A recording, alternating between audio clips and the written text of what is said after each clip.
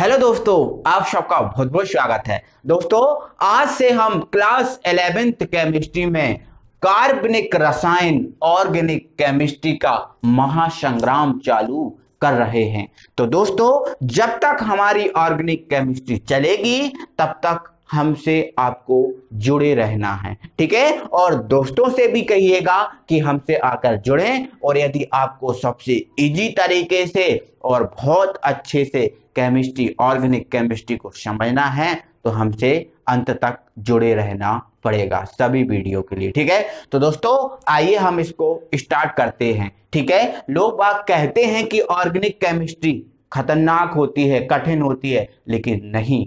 Organic chemistry बिल्कुल भी कठिन नहीं होती। सबसे इजी जो होती है, वो ऑर्गेनिक केमिस्ट्री होती है। बस आपको हमारे साथ जुड़े रहना है, ठीक है? तो आइए दोस्तों, हम स्टार्ट करते हैं। तो दोस्तों, सबसे पहले इस कार्बनिक रसायन का ही मतलब जान लीजिए कि ये कार्बनिक रसायन होती क्या है। तो मेरे भाइयों ये कार्बनिक रसायन जो होती है, ये रसायन विज्ञान की ही शाखा है और ये रसायन विज्ञान की ऐसी शाखा है जिसमें हम कार्बनिक यौगिकों का एवं कार्बन की श्रृंखला का, कार्बन का अध्ययन करते हैं। मतलब कार्बनिक रसायनों में मेरे भाई टोटल हम कार्बन को पढ़ते हैं और कार्बन के यौगिकों को पढ़ते हैं। ठीक है? अब तो सबसे पहले हम स्टार्ट करते हैं कार्बन से ही। तो मेरे भाई, जो कार्बन होता है, इस कार्बन का जो परमाणु क्रमांक है, वो परमाणु क्रमांक क्या होता है? छ होता है। कितना होता है? छ तो छह परमाणु क्रमांक होता है तो यदि इसका हम इलेक्ट्रॉनिक विन्यास करें तो पहली कक्षा में कितने इलेक्ट्रॉन आते हैं? दो। और दूसरी कक्षा में मेरे भाई कितने इलेक्ट्रॉन आते हैं? चार। आते हैं। अब चार आते हैं तो मतलब ये अंतिम कक्षा है। अंतिम कक्षा में चार इलेक्ट्रॉन मतलब हम ये कह सकते हैं कि इसका जो संयोजकता कोष होता है, इस संयोजकता कोष में चार इलेक्ट्रॉन होते हैं। मतलब कार्बन की जो संयोजकता है, वो चार है। कितनी है? चार है कार्बन की संयोजकता। अब कार्बन की जो चार संयोजकता होती है, वो दो तरीके से पूरी हो सकती है। ठीक है? कैसे?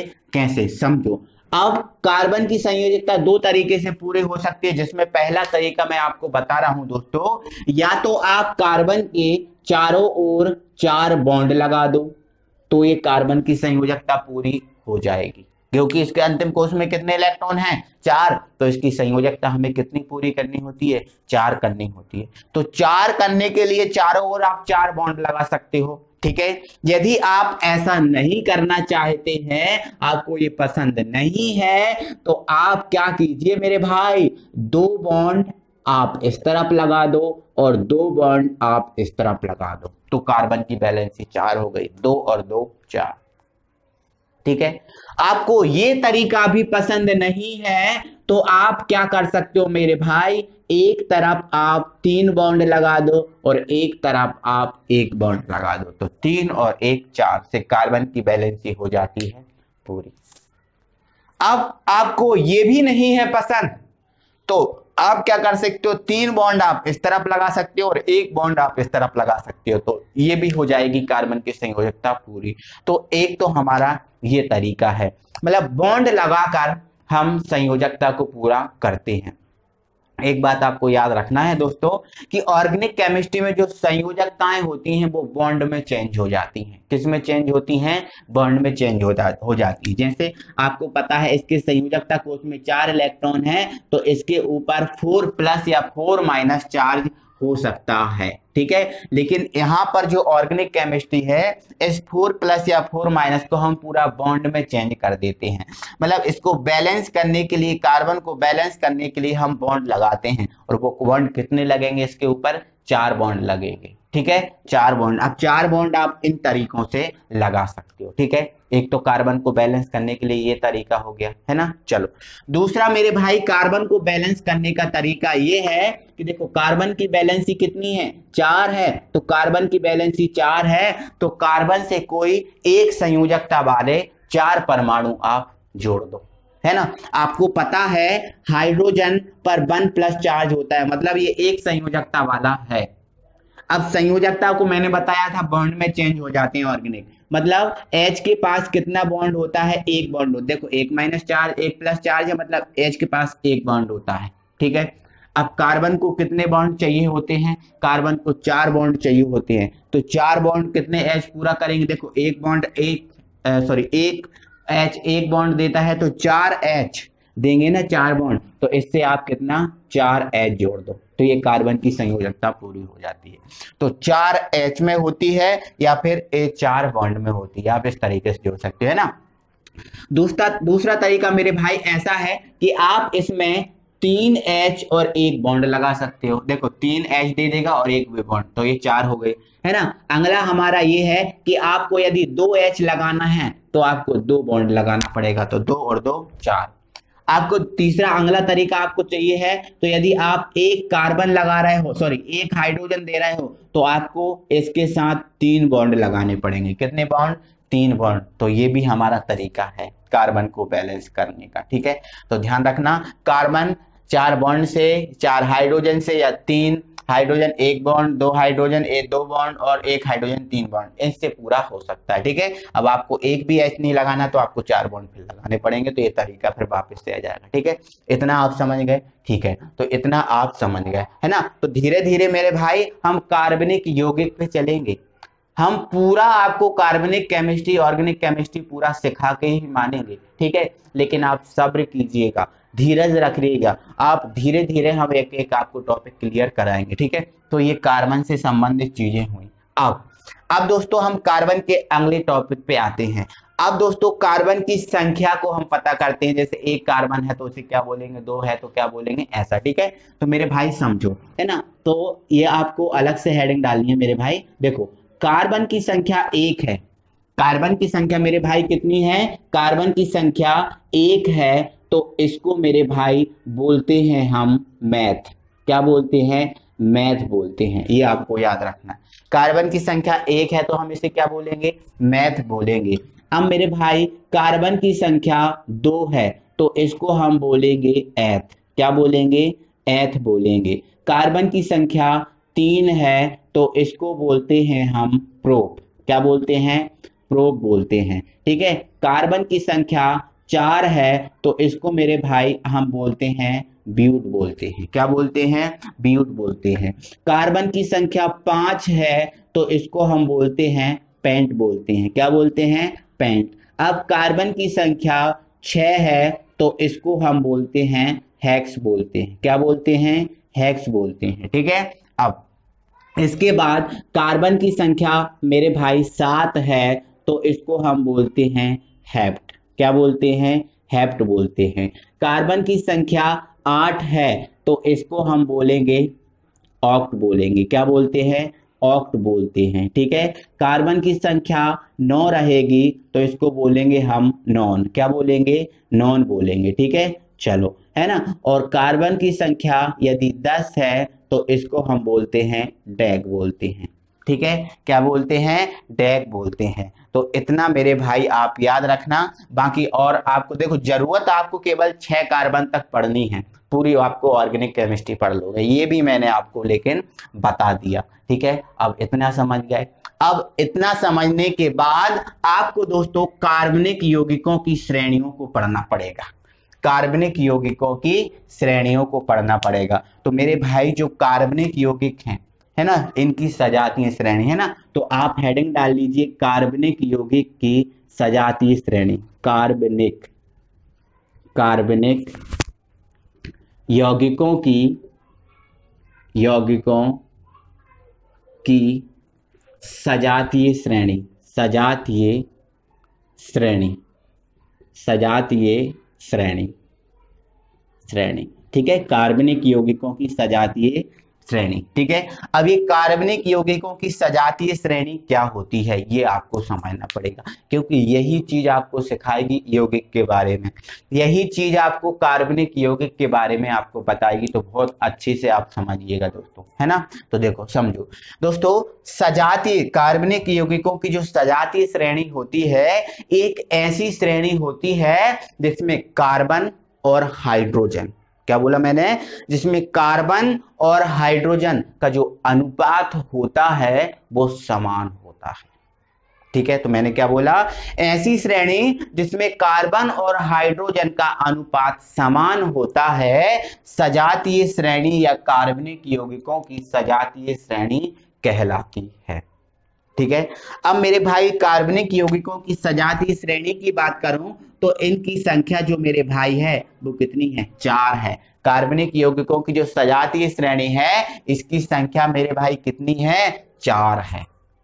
ठीक है? तो चार है तो देखते हैं अपन स्टार्ट कौन कौन सी है। ठीक है? तो दोस्तों, पहली श्रेणी जिसका नाम है, जिसका नाम है एल्केन श्रेणी। तो आप हेडिंग डाल दीजिए एल्केन श्रेणी। एल्केन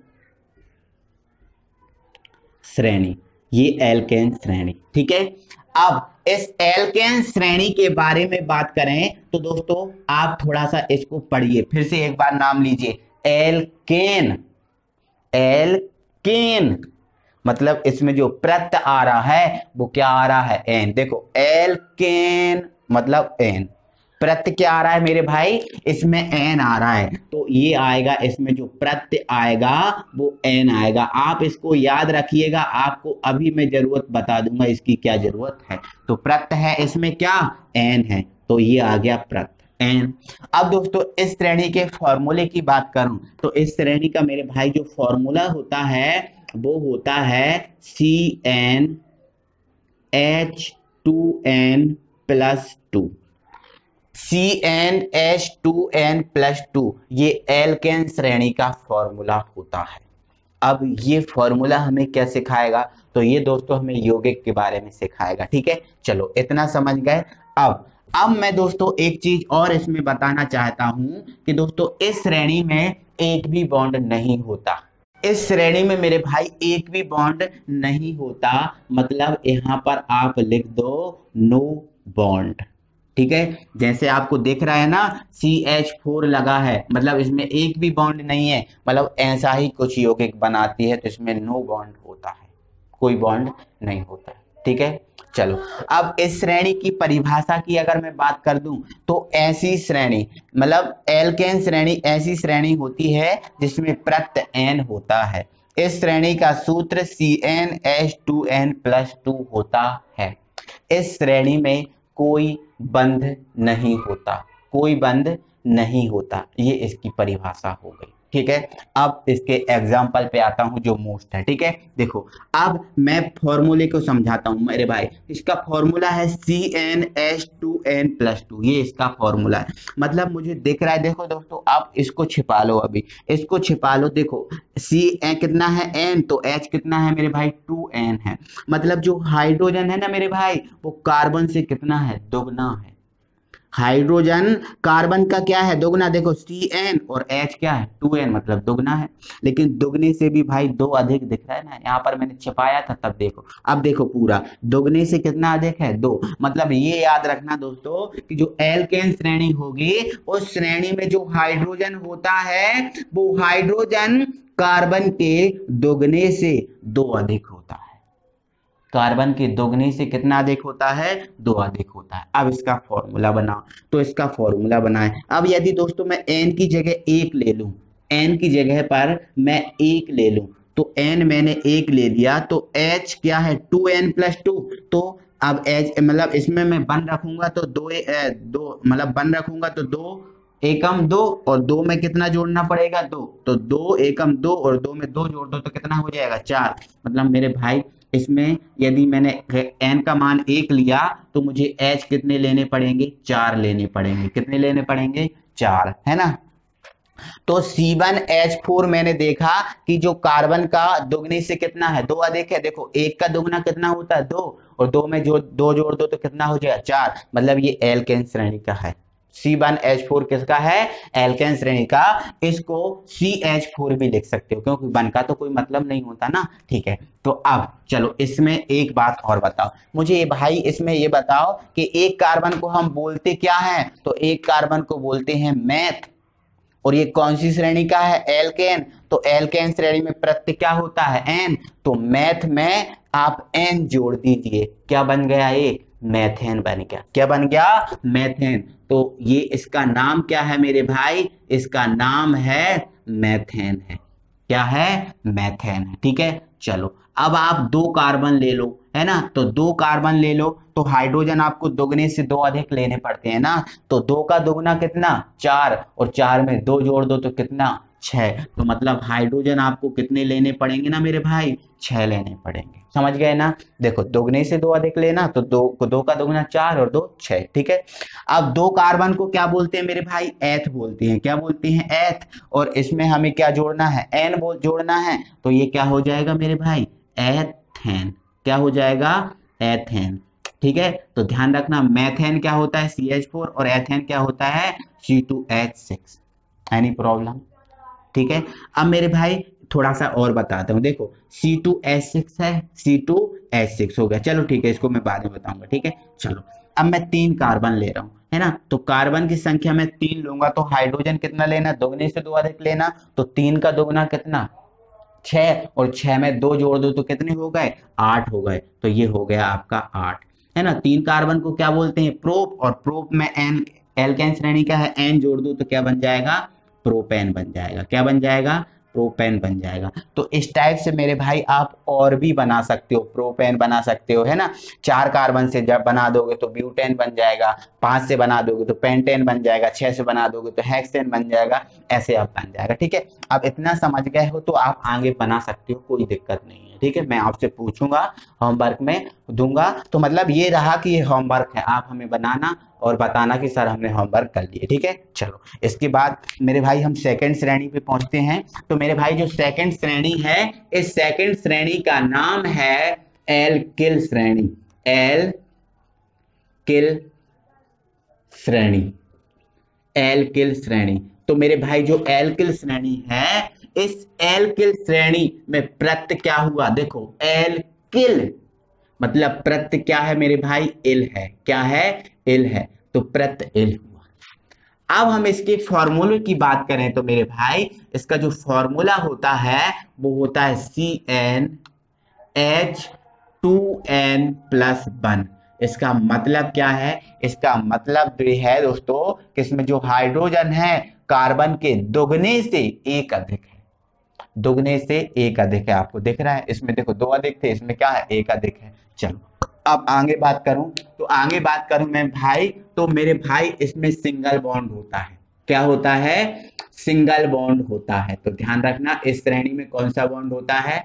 सिंगल बॉन्ड होता है। चलो समझ गए?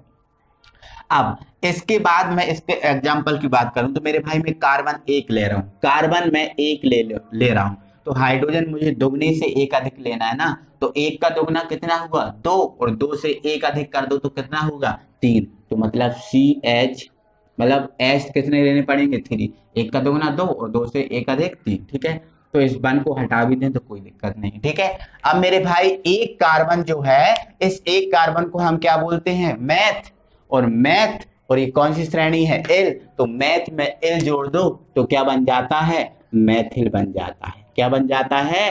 तो मैथिल तो ये हो गया हमारा मैथिल अब यदि हम दो कार्बन लें तो हाइड्रोजन कितना लेना पड़ेगा? दुगने से एक अधिक। तो दो का दुगना कितना? चार। और चार में एक जोड़ दो तो कितना हो गया? पाँच। तो और पाँच हो गया तो हाइड्रोजन हमें कितने लेने हैं इसमें? पाँच लेने हैं। अब दो कार्बन को क्या बोलते हैं? एथ। तो एथ में एल जोड़ दो तो क्या हो गया ये? एथिल। क्या हो गया? एथिल।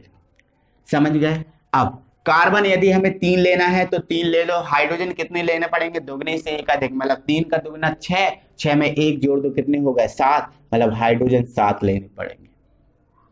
जब हाइड्रोजन सात लोगे ना मेरे भाई तो तीन को आप क्या बोलते हो? प्रोप प्रोप में एल जोड़ दो तो क्या बन जाएगा? प्रोपिल। क्या बन जाएगा? प्रोपिल। तो इसका नाम है प्रोपिल। है ना? तो अब आगे ब्यूटेल, पेंटेल, हेक्सेल, ये सब आप बनाना, ये आपका होमवर्क है। है ना? अब मेरे भाई, मैंने इसमें बताया था आपको सिंगल बॉन्ड होता है। तो मेरे भाई सिंगल बॉन्ड बिल्कुल होता है। देखो, मैंने यहाँ पर आपको ये चीज़ बताई थी, अगर कार्बन के साथ तीन हाइड्रोजन है तो एक बॉन्ड लगाना पड़ेगा। तो सब में एक बॉन्ड लगेगा इसमें। इसमें भी एक बॉन्ड लगेगा, इसमें भी एक बॉन्ड लगेगा, और इसमें भी एक बॉन्ड लगेगा। समझ लें मतलब इसमें सिंगल बॉन्ड होता है। कोई दिक्कत है? ठीक है। तो ये हमारी एल्किल श्रेणी हुई, मेरे भाई, और नेक्स्ट हमारी श्रेणी है एल एल्कीन श्रेणी, ठीक है? तो यहाँ पर हम लिख दे रहे थर्ड एल कीन श्रेणी, ठीक है? अब मेरे भाई, इस एल्कीन श्रेणी की बात करूँ प्रत्य की बात करूँ तो देखो एल्कीन एल्कीन मतलब प्रत्य आ रहा है क्या? बड़ी ई और ना। ई ना आ रहा है, ठीक है? अब ये एल्किन प्रत्य हो गया। अब मैं सूत्र की बात करूँ तो मेरे भाई इसका सूत्र होता है C n H two n C n H two n two n मतलब मेरे भाई जो हाइड्रोजन होता है, इसमें कार्बन का केवल और केवल दुगना होता है। हाइड्रोजन जो कार्बन का कैसा होता है? केवल दुगना होता है। मतलब कार्बन एक है तो हाइड्रोजन दो होंगे। कार्बन दो हैं तो हाइड्रोजन चार होंगे, बस। ठीक है? चलो, आगे समझ लो। तो अब आगे समझे तो दोस्तों, इस श्रेणी में डबल बॉन्ड होता है। कौन सा बॉन्ड होता है? डबल बॉन्ड होता है, ठीक है? डबल बॉन्ड होता है, ठीक है? तो दोस्तों थ्योरी आप अपने हिसाब से जमा लीजिएगा, कोई दिक्कत नहीं होगी। आप जमा लीजिएगा अपने हिसाब से थ्योरी ठीक है? और दोस्तों आपको यदि इस ऑर्गेनिक केमिस्ट्री के आपको नोट्स चाहिए है तो मुझे कमेंट बॉक्स में कमेंट करके बताएँ कि सर हमें नोट्स चाहिए है तो मैं आपको इसके नोट्स भी प्रोवाइड कर दूँगा। कोई दिक्कत नहीं है मुझे। ठीक है?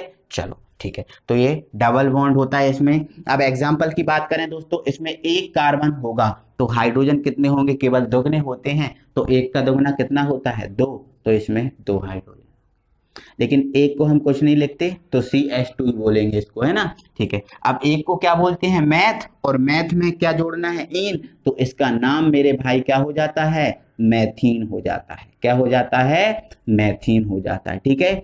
अब यदि इसमें आप कार्बन दो लोगे, कार्बन कितने लोगे? दो। तो हाइड्रोजन आपको कितना लेना पड़ेगा? दोगुना मतलब हाइड्रोजन आपको चार लेना पड़ेगा। ठीक है? तो अब दो को क्या बोलते हैं? एथ। एथ में इन जोड़ दो। तो इसका नाम हो जाएगा मेरे भाई क्या? एथीन हो जाएगा, ठीक है? इसके बाद आप तीन कार्बन लोगे तो हाइड्रोजन आपको कितना लेना पड़ेगा? दोगुना छह लेना पड़ेगा। तो तीन को क्या बोलते हैं? प्रोप। प्रोप में इन जोड़ दो तो ये बन जाएगा प्रोपीन, ठीक है? इसके बाद आगे के आप बनाना, ठीक है? चलो, इसके बाद मैंने क्या बोला दोस्तों? इसमें डबल बॉन्ड होता है तो बिल्कुल होता है मेरे भाई डबल बॉन्ड देखो, आप सी एच दो दो दे रहे हो तो आपको डबल बॉन्ड लगाना पड़ेगा ना कार्बन को चार करने के लिए, ठीक है? तो इन सब में डबल बॉन्ड होता है। तो यहाँ आप डबल बॉन्ड लगा सकते हो, यहाँ आप डबल बॉन्ड लगा सकते हो, यहाँ आप डबल बॉन्ड लगा सकते हो, ठीक है? बस ये लगाना मत, आप याद रखना कि इसमें ये होता है, बाकी ये डबल बॉन्ड लगाना मत, कोई दिक्कत नहीं, ठीक है? हर एक कॉन्सेप्ट आपको क्लियर होता जा रहा है, ठीक है? नेक्स्ट श्रेणी है हमारी दोस्तों एल्काइन श्रेणी। ये हमारी फोर्थ और लास्ट श्रेणी है एल्काइन श्रेणी। एल्काइन श्रेणी। एल्काइन श्रेणी, ठीक है? तो दोस्तों, इस एल्काइन श्रेणी का प्रत्य आप निकालिए। एलकाइन मतलब इसका जो प्रत्य आएगा मेरे भाई, वो क्या आएगा? आयन आएगा। क्या आएगा? आयन। अब मैं दोस्तों, इसके सूत्र की बात करूँ तो इसका जो सूत्र होता है ना मेरे भाई, वो होता है C n H two n minus two ये इसका प्रत्य होता है। C n H two n minus two तो भाई ये फॉर्मूला बन गया C n H two n minus two ये इसका फॉर्मूला इसका मतलब क्या है मेरे भाई? इसमें जो हाइड्रोजन होते हैं कार्बन के दोगुने से दो कम होते हैं. ध्यान रखना, दोगुने से दो कम है. दोगुने से दो कम होते हैं. ठीक है? चलो आप इसका फॉर्मूला अब दोस्तों इसका बॉन्ड और बता देता हूँ. इसमें बॉन्ड होता है मेरे भाई त्रिपल बॉन्ड होता है. कौन सा बॉन्ड होता है? त्रिपल बॉन्ड त्रिपल बॉन्ड ये त्रिपल बॉन्ड इसमें. समझ गया? ठीक है। चलो, अब इसके बाद हम इसके फॉर्मूले निकालते हैं। देखो, एक हम कार्बन लेंगे। कार्बन यदि हम एक ले रहे हैं तो हाइड्रोजन हमें क्या करना है? दोगुने से कितने? दो कम लेना है। तो एक का दोगुना करो। एक का दोगुना कितना हो गया? दो हो गया। और इसमें से दो कम करना है तो दो में से दो कम कर दो, क्या हो गया? ज़ीरो। मतलब हाइड्रोजन हमें क्या लेना है? ज़ीरो। और ज़ीरो का मतलब क्या होता है? एक भी हाइड्रोजन हमें नहीं लेना। तो मतलब दोस्तों, अकेला जो कार्बन होगा कार्बन होगा, इस अकेले कार्बन को देखो, एक कार्बन को हम क्या बोलते हैं? मैथ। और ये इसमें क्या है? आयन। तो ये हमारा कहलाएगा, इस श्रेणी में मैथाइन कहलाएगा। क्या कहलाएगा? मैथाइन तो ध्यान रखना, इस श्रेणी में एक कार्बन को हम क्या बोलते हैं? मैथाइन बोलते हैं, ठीक है? चलो, अब दो कार्बन की बात कर लो। अब यदि हमारे पास कार्बन दो है है ना? तो दोगुने का मतलब दो का डबल करो तो कितना हो जाएगा? चार। और चार में से दो कम कर दो तो कितने बचे? दो। तो मतलब हाइड्रोजन हमें कितना लेना है इसमें? दो लेना है। ठीक है? अब दो हाइड्रोजन लेंगे तो दो कार्बन को हम क्या बोलते हैं? एथ और एथ में आयन जोड़ दो तो क्या बन जाएगा ये? एथाइन बन जाएगा। क्या हो जाएगा? एथाइन तो ये हो गया हमारा एथाइन समझ गए? ठीक है? अब तीन कार्बन लेंगे तो हाइड्रोजन हमें कितना लेना है? तो समझो हाइड्रोजन कितना लेना है, ठीक है? दोगुने से दो कम तो तीन का दोगुना कितना होता है? छह. और छह में से दो कम कर दो। तो कितने बचे चार। मतलब हाइड्रोजन आपको कितने लेने? चार। अब तीन को क्या बोलते हैं? प्रोप और प्रोप में आयन जोड़ दो तो क्या बन जाएगा? प्रोपाइन बन जाएगा। प्रोपाइन ठीक है? चलो, आप समझ गए ना? कोई दिक्कत नहीं हो गई। ठीक है? अब इसमें त्रिपल बॉन्ड होता है तो देखो भाई, एक कार्बन है। क्या है? एक कार्बन है। सब में देखो, एक कार्बन है, इसमें सब में त्रिपल बॉन्ड होता है तो इसमें सब में त्रिपल बॉन्ड लगेगा। सब में त्रिपल बॉन्ड लगेगा। लेकिन मेरे भाई, अब थोड़ी सी यहाँ पर दिक्कत है। कि यहाँ पर जो है ना आ, आ, जो कार्बन है वो कार्बन बैलेंस नहीं होगा। तीन कार्बन से बैलेंस नहीं होता है नहीं होता। कोई दिक्कत नहीं है। तीन कार्बन से बैलेंस नहीं होगा लेकिन अपने साथ ये किसी समूह को एक जोड़ लेगा है ना? तो ये तीन बॉन्ड लग जाएगा और एक समूह को जोड़ लेगा तो ये बैलेंस हो जाएगा। ठीक है? कोई दिक्कत नहीं ठीक है? तो सब में ट्रिपल बॉन्ड होता है। तो ध्यान रखना मेरे भाई सब में क्या होता है इसमें? ट्रिपल बॉन्ड होता है। तो इतना आप ध्यान रखना कोई दिक्कत नहीं है ठीक है? आई होप कि आपको ये समझ में आ गया होगा, कोई दिक्कत नहीं होगी। चलो। तो दोस्तों, वीडियो अच्छा लगा है तो वीडियो को लाइक कीजिए, शेयर कीजिए, है ना? और अभी तक आपने हमारे चैनल को सब्सक्राइब नहीं किया तो सब्सक्राइब कर लीजिए। और दोस्तों, इस ऑर्गेनिक केमिस्ट्री की सीरीज़ में हमसे आपको जुड़े रहना है। यदि आपको सबसे आगे रहना है तो चलो, ठीक है? तो दोस्तों, फिर मिलते हैं। जय हिंद।